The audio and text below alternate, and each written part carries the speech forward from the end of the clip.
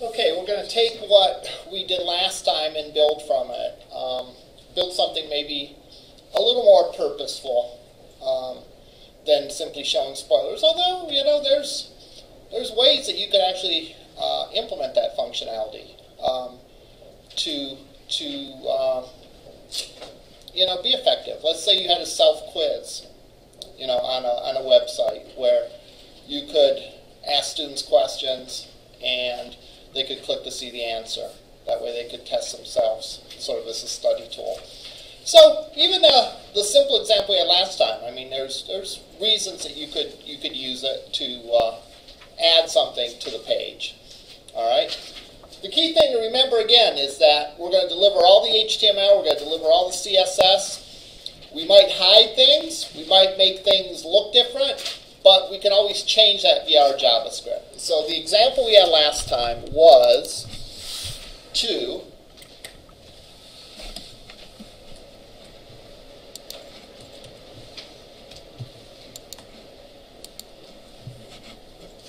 show spoilers. We did it a couple different ways. We did it based on a mouse on, uh, over and mouse out. We did it on a button click. And then we wrote a function to do several of them all at once. So let's take a look at that, and then we'll go on to the next example.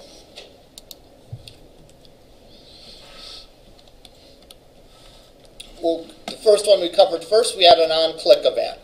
Remember that there are events, and they typically represent user actions, and they're, they are what is going to initiate the JavaScript. So what this means is when the mouse is clicked, I want to do this snippet of JavaScript. All right?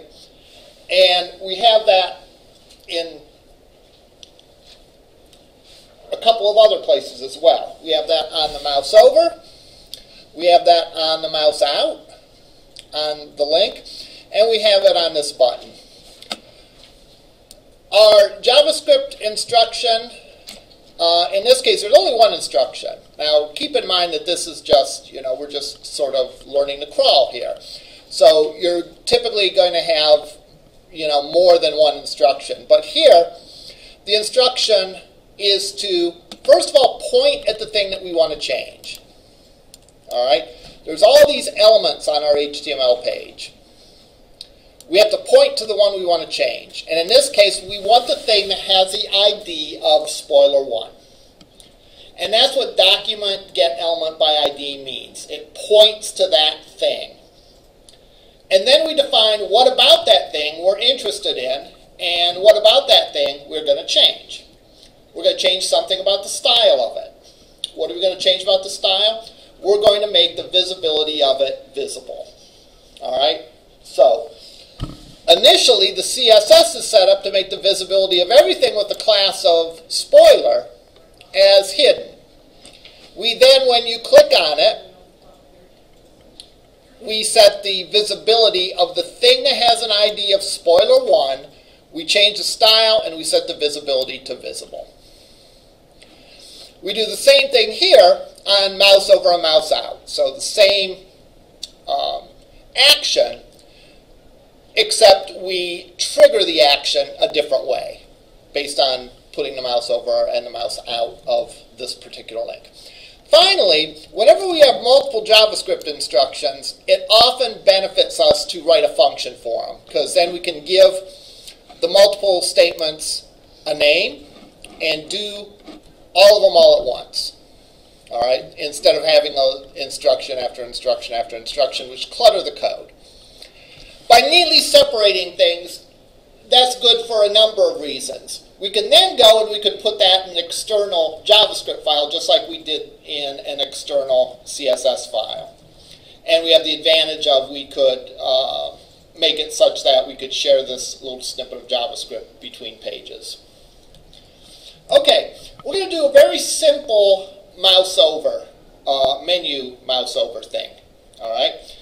And we're going to do that uh, by implementing one sort of step at a time. Remember, we have the three tools. Each tool brings something different to the party. All right? We have our HTML, which is the content and sort of the logical organization of the page. By logical organization, I mean how things are grouped together sort of conceptually. That's related to, but not the same as the physical layout. The logical layout says we have a head, we have a nav, we have a header rather, we have a nav, we have a footer, we have three sections. That's how things are grouped together. The physical layout would say something like, well, the header's on the very top of the page, the nav is on the left side of the page, the sections are stacked up in a grid, and then finally the footer's at the bottom of the page. That's the responsibility, again, of CSS. That and any other aspect of the appearance. And then finally, the behavior, the interactivity, is what comes from JavaScript. So, I'm going to create a real simple menu example. And we'll build it up from the ground up.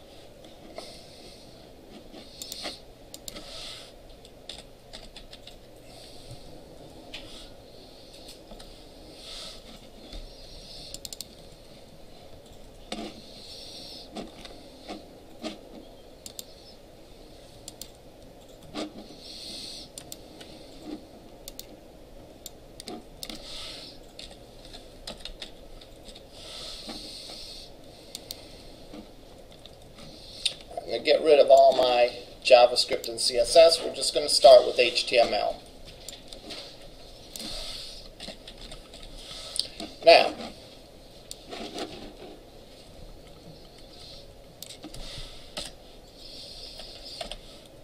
I'm going to put this in a nav section because, again, that's what a nav section is, right? It's your menu. And we could do a lot of things with this, and we'll play around with this a little bit. Um, I'm not going to spend a tons of time making like a perfect page layout, but I'll do a little bit just to show you sort of how this fits in context. So I'll put a header in and a footer and a section just so that we have a, a complete web page and not just parts of a page.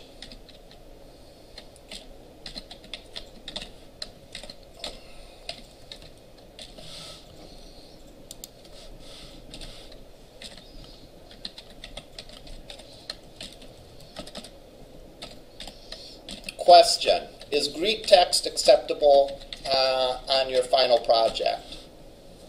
No. Okay. Is Greek text acceptable on a prototype? Yes. Okay. Um, occasionally, you know, I'll hear people say, well, you use Greek text. It's like, well, yeah, and uh, if I were grading myself, I would have taken off points for it.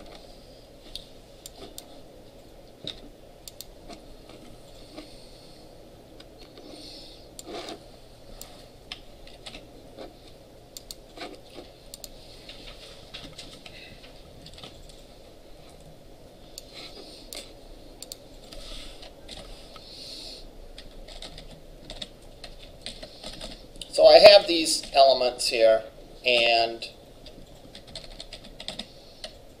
I'll do a little bit with the CSS of it in a second, but I want to start the menus. So menus essentially are unordered lists. That's how we're going to put our navigation in, right? That's typically how we've been doing it. Because a menu, you know, there's nothing definite about the ordering of the pages in your navigation. You could rearrange them without destroying the meaning. All right, probably makes sense to have the home page your first uh, your first link, but the rest of the page is really, you know, you you have choices, you have options. So I'm going to make an unordered list of links.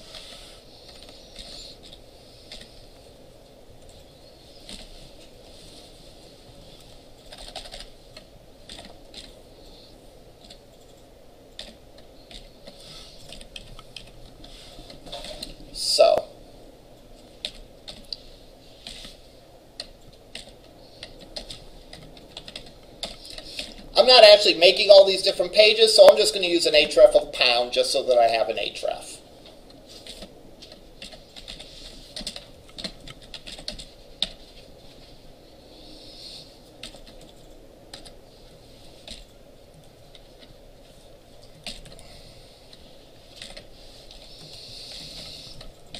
And so I'll make three menu items.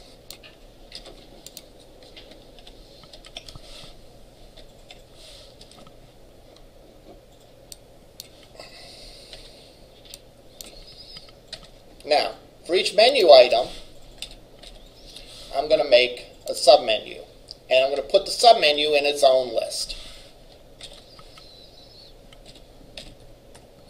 Now, we can probably figure out, all right, that we're going to want the submenu to have a class and an ID. Why do you suppose I'm going to want the submenu to have a class and an ID? To control its visibility, To control its visibility. right. So initially, I'm going to use a class to make all the submenus invisible, all right, rather than having to define each ID individually. So I'm going to give a class of submenu. But when I'm going to do my mouse over menu, I'm going to want to display one specific menu item and only one specific menu item at a time. All right. Therefore, I need to point to the specific submenu I want to show. All right. So therefore, I'm going to need uh, a ID so I can point to that. So I'll give a class of submenu.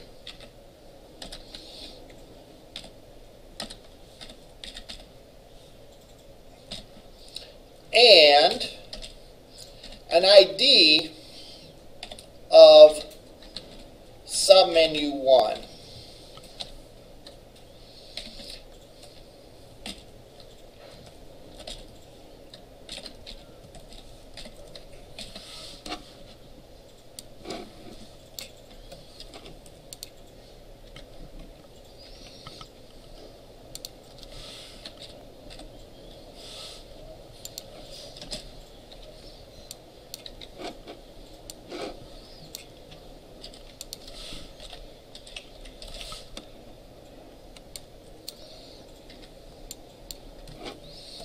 And I'll do that for each of each of the submenus.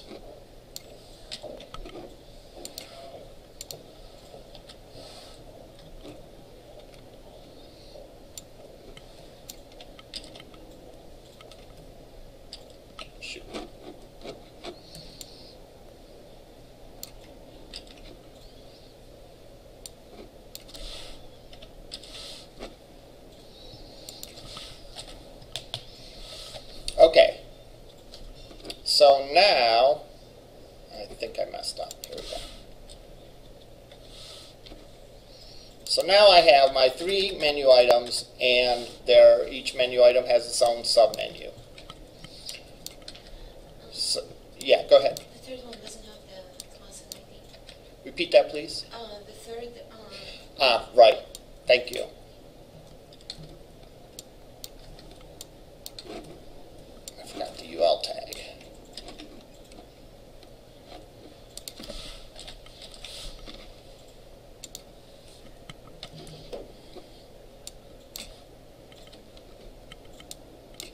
Okay, so this is the HTML for this page, right? We have our navigation with three link items on the main menu, and this, each one has a submenu. We then have our header, body, or section, footer. Let's go and look at this. And here we go. That's how it looks like. Okay. We can then go and style this uh, any way we want to. All right. Um, which uh, I'm going to go in and uh, I'll just put some simple styling in. Again, I'm putting it in the same HTML file just out of laziness. This isn't a recommendation that you do it this way. So I'm going to say header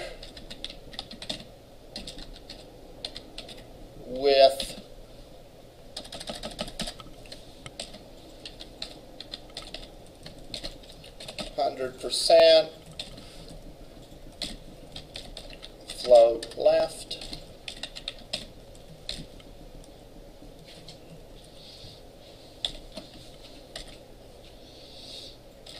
nav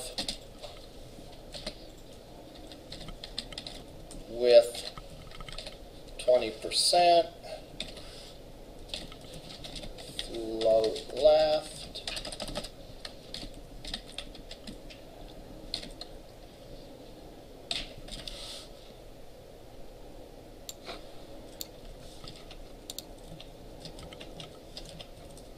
Section and footer.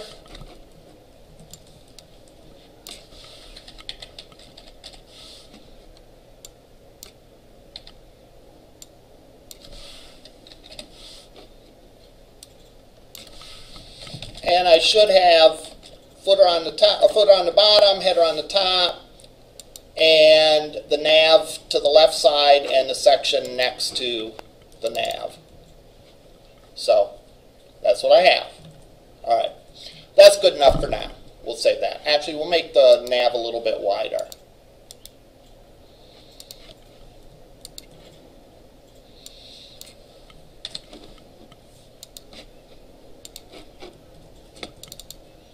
There you go. So now, uh, we got that part of the CSS done. So what do we want to do now with the CSS to get the menus to work? Hide the submenus.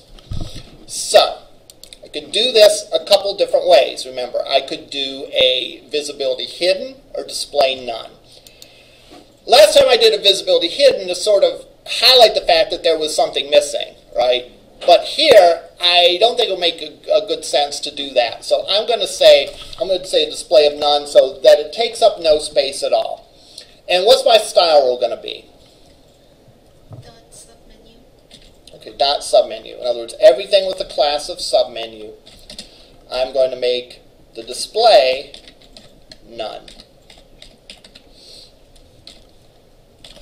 All right.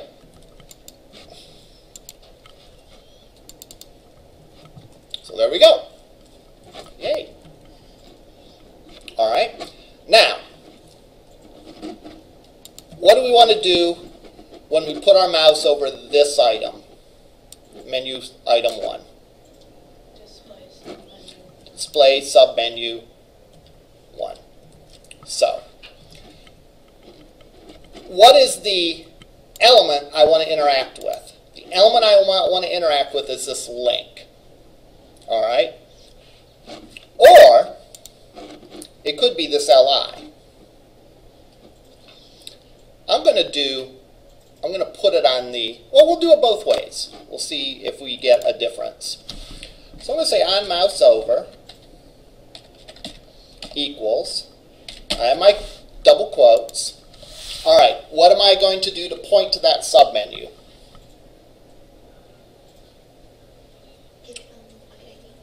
Pardon me? Right, document, get element by ID, and remember the capitalization is important. What thing do I want? I want the thing that has an ID of submenu 1.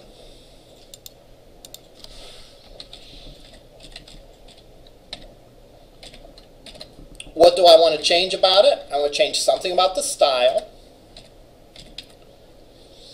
Uh, what do I want to change about the style? I want to change the display. And I want to set the display to probably block or inline. Okay, so Where would each display? I'm gonna I'm gonna change it to block.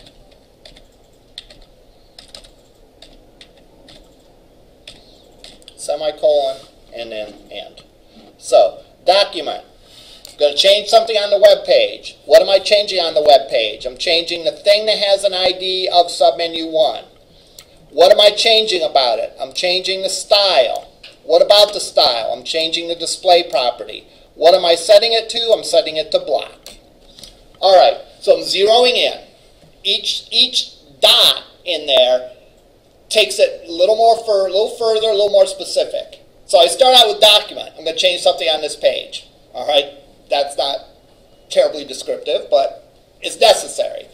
What am I going to change on the page? I'm going to change the thing that has an ID of submenu 1. Well, there's a lot of attributes associated with the thing that has a submenu of 1, right? It has a background color. It has a, a font. It has content. There's all kinds of things that have that, that are characteristics of the thing that has this, the, the ID of submenu 1. So I have to say specifically what do I want to change.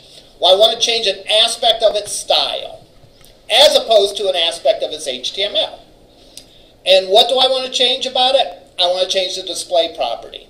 And what do I want to set the property to? I want to set it to block. So again, these are values. These are variables or objects or properties or that sort of thing. These are included in single quotes because we use a double quote to go around the entire uh, JavaScript statement. So let's see if this works.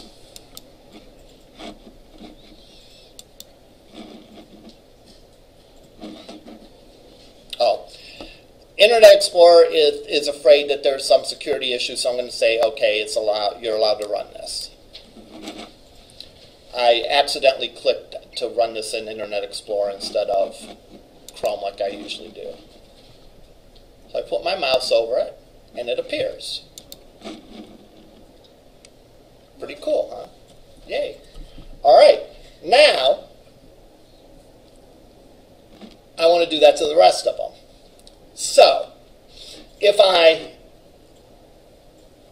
take my mouse out of that, I want to make it disappear. So I'm going to go on mouse out.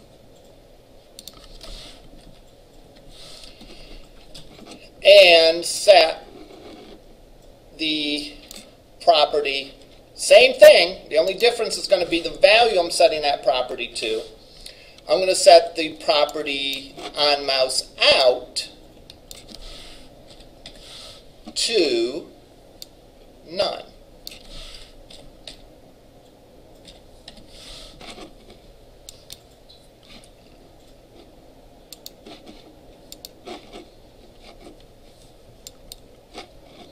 It's there, it's gone. Yay.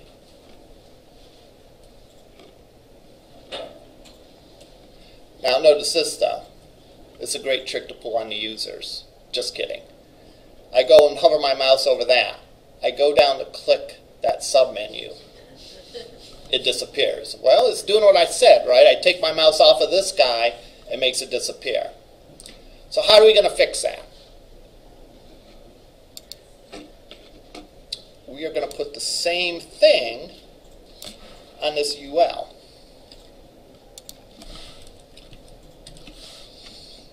If the mouse is on the UL, keep it there. All right? Keep it visible.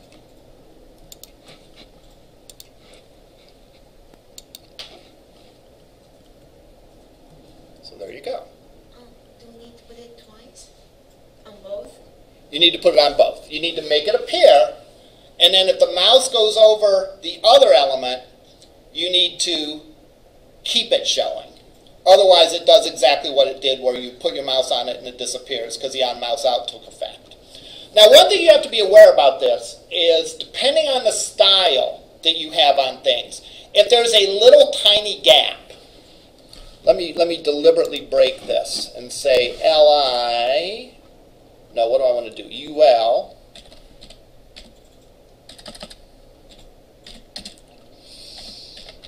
margin top five pixels.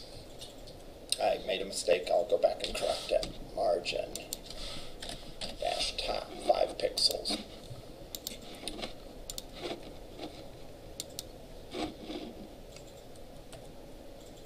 Because there's a little tiny gap there,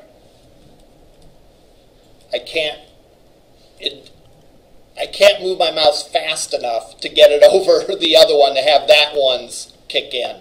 So as soon as the mouse goes into the gap between them, it's sort of in a no man's land, and in which case it's going to make it um, uh, disappear.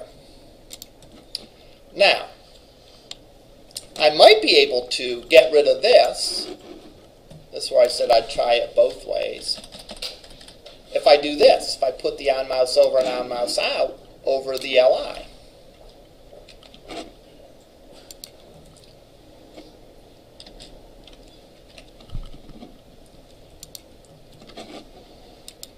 Then I don't think I have to put it on the UL because that UL is still part of the LI.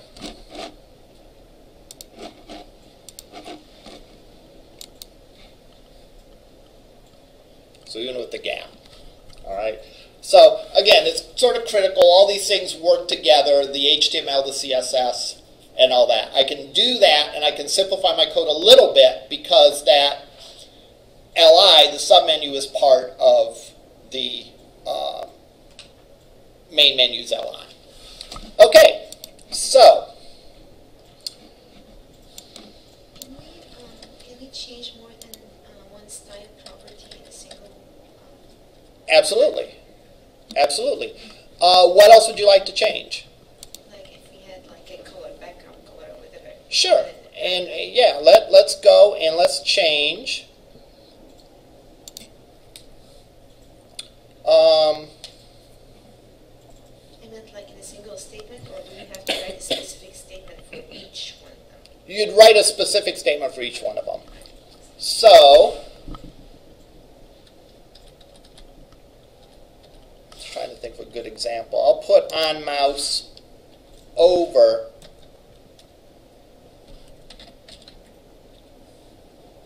this is whatever object it's on. So this means this li in this case. So I'm going to say this style um, dot background color. Remember, in CSS we say background dash color. So in JavaScript we say background color with no dash, but with a capital C. Um, let's make it yellow. So yeah, we can write a statement to do that. Not equal to. No, you're right, equal to yellow. I got confused between CSS code and JavaScript code. So now,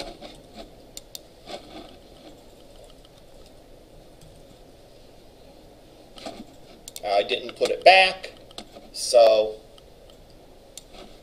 to complete this, I probably should go and set it back. Because once you set it, it stays that until you write the code to reverse it.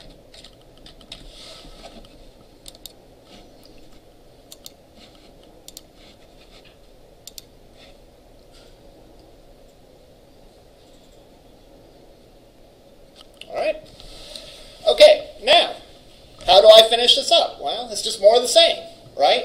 That's sort of the neat thing about programming is that, you know, if you can do one, you should be able to do 10. All right? And 10 isn't necessarily 10 times as hard as doing one because most of your work is going to be figuring out the first one. All right? So we're going to make an observation after we finish, though. So what I'm going to do is I'm going to take and copy this li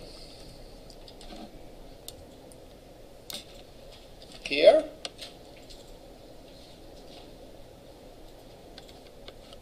and here.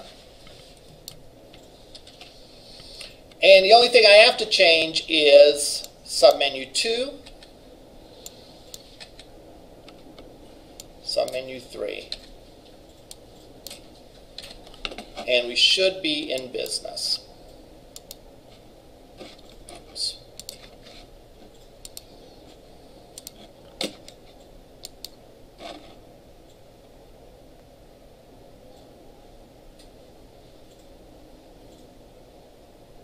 All we have the menus working. Like a tree control in Windows Explorer. Um, let me see if I can show you what I mean. Being a Mac user, I don't remember all the Windows features off the top of my head. But if I go into a directory,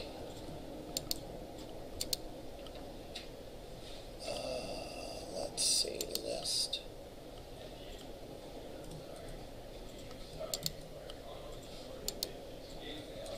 Isn't doing it. Or I could have a plus to expand it or contract it. All right. Um,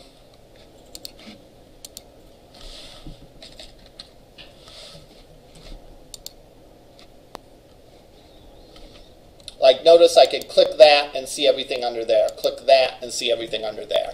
I could easily create my menu scheme to do that. All right? Uh, that'd be a good exercise to try, to see how to do it. The first step of it would be easy. You change the on mouse over to the on click. So when they clicked on the LI, it would show the menu. The tough part would be to make it hide again. And even that's not really the tough part. What you'd have to do is you'd have to check to see if it was already visible. If it's visible, make it invisible. If it's invisible, make it visible. We'll do that next. All right? Let's, let's do that now. Forget next. Let's do that now. Okay, so we have this, we have this menu, and this is okay do notice one thing about this. Notice one thing. I have an awful lot of code that looks the same. All right? Now, how many of you remember the, the show Pee Wee's Playhouse? Please, someone tell me you remember it. All right. Now, remember, Pee Wee had a word of the day, right? And the word of the day, every time he said it, you were supposed to scream. All right? And how cool is that? How subversive is that to make a kid show where you encourage the kid to scream while their parents are probably trying to sleep in on Saturday or whatever? All right. So, the programming equivalent of that, when you see it, you should scream, is duplicated code. Duplicated code doesn't mean the exact same code. It means really similar code where maybe only one thing is different. All right? So what we're going to do is we're going to do this example again, and we're going to make it so that we can click it to show it and click it again to hide it. But we're going to notice where we have duplicated code, and we're going to um, see maybe what we can do to fix that. All right? Why is duplicated code bad? Well, you might make a mistake one of the times. You know, if I gave you 100 addition problems to do, all right, just out of carelessness or your mind would wander or whatever, you, you might get one of them wrong, right? So if you have to do the same thing over and over, like change the same block of code over and over and over again, you're bound to make a mistake. Or you're bound to forget one. You get a phone call in the middle of doing this and you think, oh, I already did that one, I'll go to the next one, you know, or whatever. And secondly, you know, it takes more time to do a hundred things than one thing. So one of the practices that we want to do for coding is all these good practices we talk about is to make your code easier to maintain. Because easier to maintain means it costs less to maintain, and it means it's less prone to errors or inconsistencies. So let's go and let's copy this, and we'll make the menu work sort of like what I just showed you there. So let me rename this to menu 2.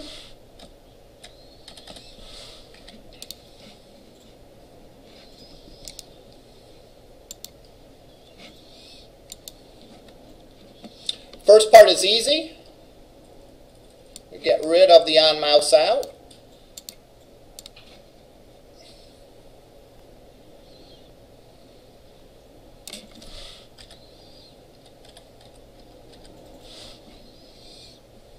I'm going to change this to on click.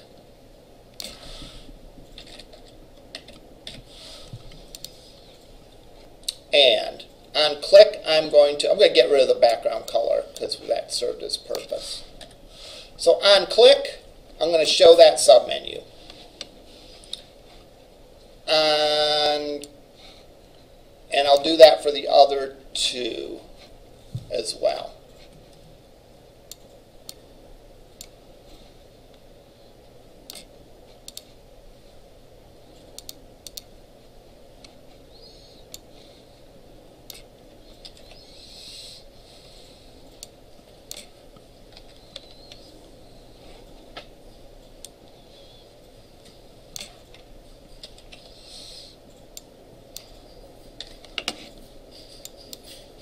All right.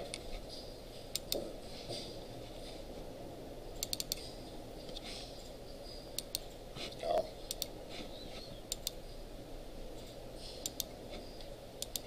So it works like that. Cool.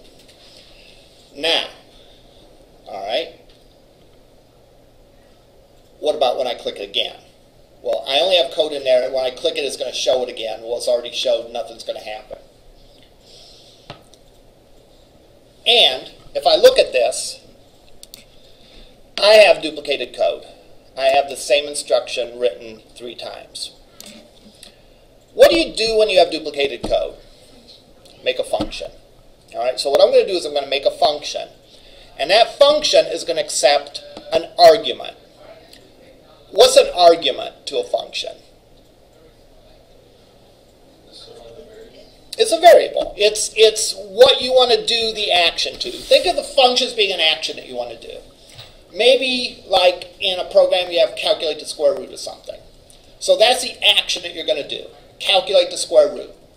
All right. The argument is what you're going to do that action to. So I can't just say, give me the square root, and you say 4. Well, no. You can't just give a square root. You have to say, give me the square root of 16, of 25. So the thing that you're going to do that action to is the argument. So I'm going to, I want to write a function that does this. When I click on it, if it's visible, hide it. If it's invisible, show it. All right? So right now, all I'm doing is showing it if I click on it. So I'll put that in there now, all right, to write my function just to get moving in that direction. And then we'll go add to it the full-blown functionality. And that's an important thing with programming. Um, try not to do everything all at once when you're writing code. Try to do just a little piece at a time, get it working, then go on to the next piece. Uh, I'll, I will see students like show me code and will ask me what's wrong, and there's like giant pieces of code, and it's like, wow, that's that's so tough to decipher, right? If you write code, get parts one, two, and three working, pretty sure that they're working okay. Then you do number four, you know, item number four, and it stopped working. You can be pretty sure it's the code you just added. Not 100% sure, but pretty sure the code you just added. So instead of looking at 100 lines of code, maybe you're looking at 10 lines of code. All right, that really narrows it down. So I'm going to write a function, and we said a function is in a script tag.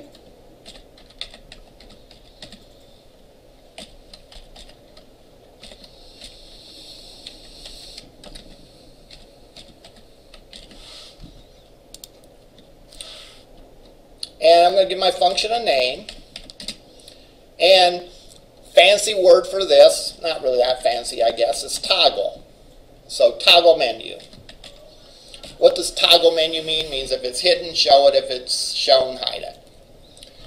And here's my argument. And I'm going to call it arg. Arg means this argument. All right? You don't have to call it arg. You don't have to call it anything. Just you can give it a name. But I typically precede my arguments with arg, indicating that that's an argument. So when I'm looking at the code, I can see at a glance that that's an argument. So, essentially what I want to do is this. I want to go and set the style display property to block. But I don't always want to do it to submenu 1. I want to do it to whichever thing got clicked on. And that's where the argument's going to come in. So I'm going to change this to say arg. So when I call this function, whatever submenu I give to it, that's the one I'm going to work with. That's the one I'm going to show. I'm going to change this then to say toggle menu submenu 1. So I'm saying what I want to do. I want to toggle this menu item.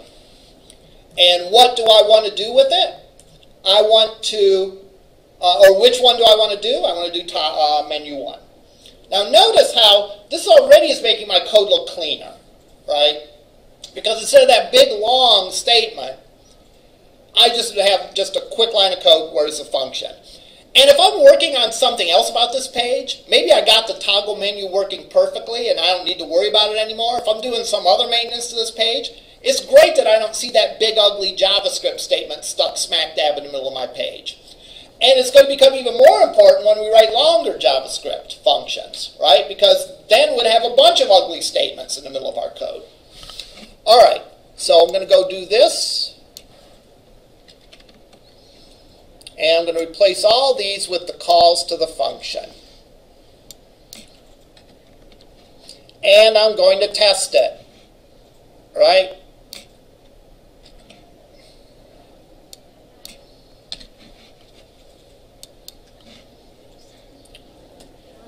I got two semicolons. Probably not a problem, but why tempt fate?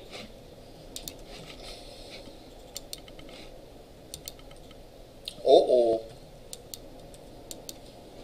not working. Well, what do we do?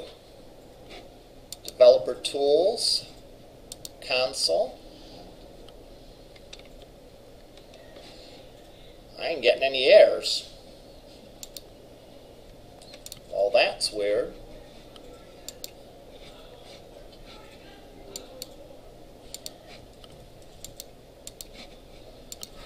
I like the error reporting in Chrome better, so let's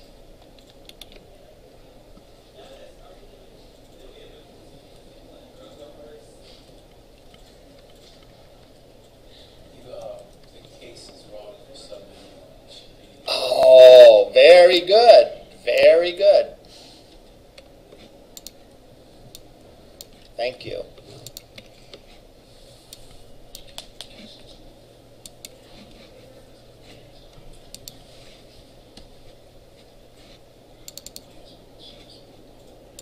Ah.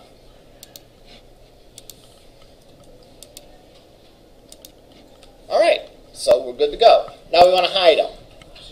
So, that's a little trickier. We haven't covered how to do anything like this yet.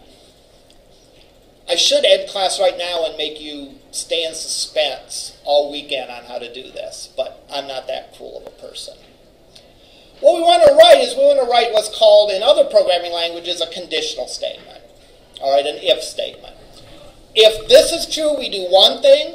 If this is true, we do something else. All right? You see that all the time in programming. If someone works more than 40 hours and they're an hourly employee, they get paid overtime. All right? If you enter a form and you don't put a value in the person's name, you get an error. If statements, all right, conditionals. If this is true, you do one thing. If this is true, you do something else. So in this case, our issue is, depending on what value this is, if we're displaying it, we want to hide it. If it's not being displayed, we want to show it. So I'm going to write an if statement here.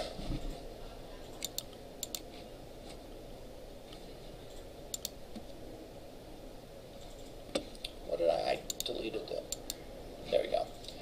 To write an if statement here that says, if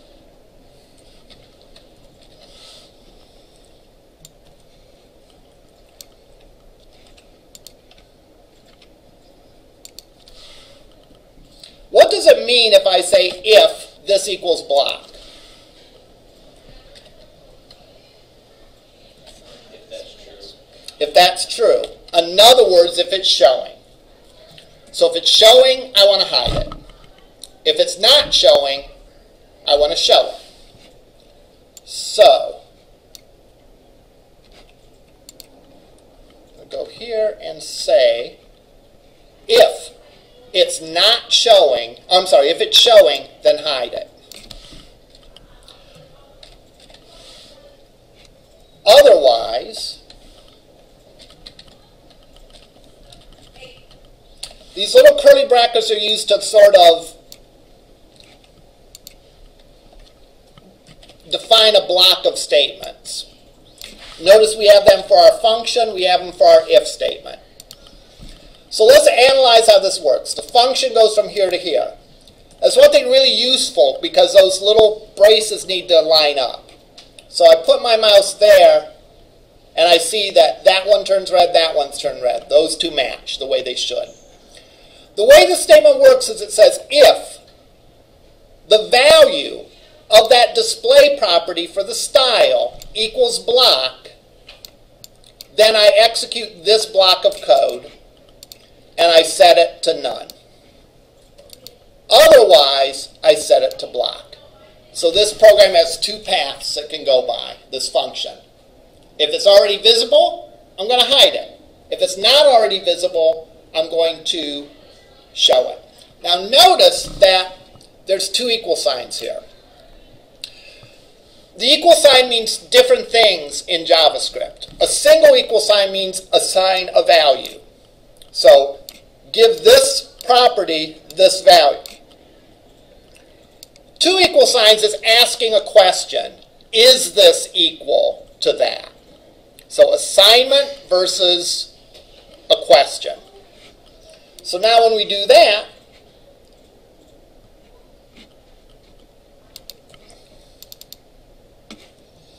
click on it, and nothing, oh, allow all right. Click on it, it shows, click on it again, disappears. So we give the user control of whether they want to see all the menu or just see some of it. All right? And that can be a nice interface for um, something. We could even do a little better than that. I, I wish we had time, but we'll do that on Tuesday. We could put a little plus next to it indicating there's more to see. I know a lot of interfaces do that. And a little minus next to it that says, well, it's already expanded. Do you want to do you want to um, contract it? Do you want to shrink it again? So we'll do that on, on Monday. All right. So far, all of our examples have been manipulating the HTML, I'm sorry, the CSS of the different elements. Uh, some of the examples that we go over on, on Tuesday, we'll look at actually changing the HTML. All right, because you can change both. So far, we've focused on one, but you can do more than that. All right, any questions? All right, I will go unlock lab, come back, grab my files, then be back over in lab.